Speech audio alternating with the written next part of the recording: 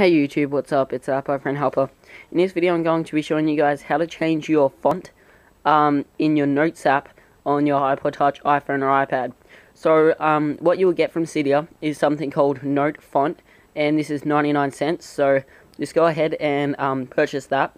When you have that um, you will respring your device and then um, by the way guys, I'll just show you guys the text I have right now. There I am in notes, subscribe to me, and I have a different sort of text. Okay, this is kind of a boring text, so I'm going to change this. But what you're going to do when you have um, notes font installed, you'll just open up settings, you'll scroll down uh, to notes font, and from here um, we can uh, change everything around. So here will be the font of the titles. So the very titles up on top of the notes, that's where you'll change that. So you can just tap on name and we can ch um, choose a font for that.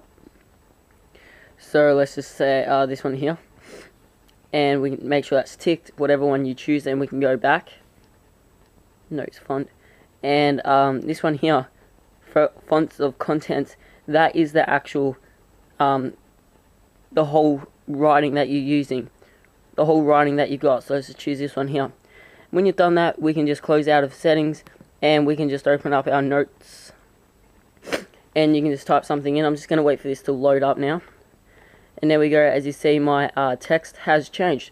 So that's it, guys. That's how you change your text in um, notes on your iPod Touch, iPhone, or iPad. You can also change the um, size if you want to test that out. But that's how you change the font. So this is called Note Font from uh, Cydia. This is 99 cents. Um, so please comment um, below.